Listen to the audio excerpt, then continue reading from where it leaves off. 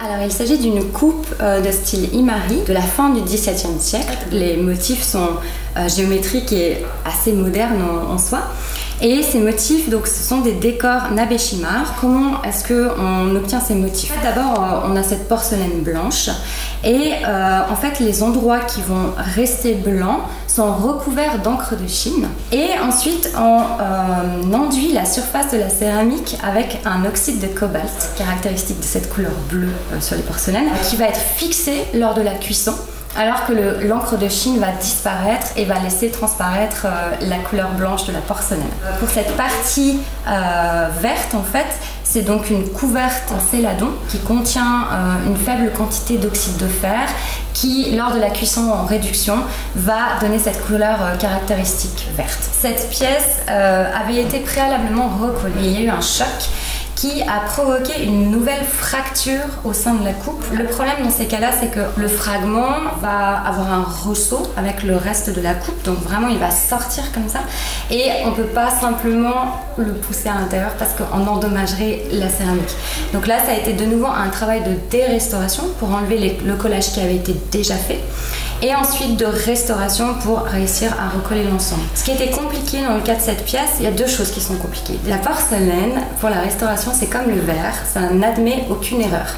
Donc le moindre ressaut va avoir une répercussion sur le remontage de la forme finale. Et ce qui était encore plus compliqué sur cette pièce, je dirais, c'est qu'en fait cette fracture était assez néfaste en fait à l'ensemble parce que c'est une fracture qui, s'est opérée alors que la pièce était déjà collée et la porcelaine a eu tendance à s'écarter, vraiment. Il y a deux techniques de collage pour la céramique et le verre, euh, surtout pour la porcelaine et le verre.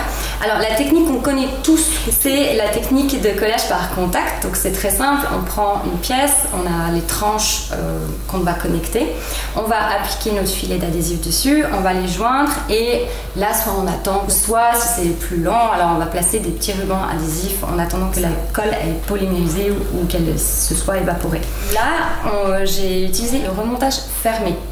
Alors en fait, on commence par euh, remonter l'ensemble de la pièce avec des rubans adhésifs. Ça nous permet en fait d'ajuster parfaitement la pièce. Et ensuite, on va procéder par infiltration d'une colle.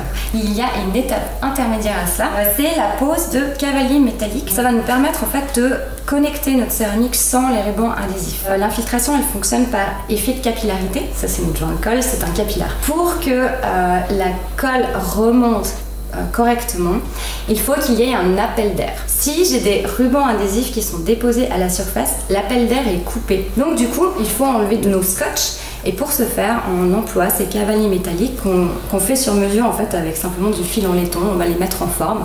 Ça, on peut obtenir le cavalier parfait. On va venir l'appliquer à la surface de la céramique pour que euh, les petites pattes puissent joindre les deux fragments, créer la connexion et on l'applique avec euh, une colle cyanoacrylate. C'est une colle à prise rapide et euh, qui est euh, facilement retirable avec des solvants organiques ou simplement en fait par sollicitation mécanique. Cette étape en fait du coup on va placer nos agrafes partout entre les joints de colle. À la fin de l'opération, on va enlever nos scotch, on va pouvoir ensuite infiltrer notre colle et à la fin on retire nos agrafes et notre coupe est collée.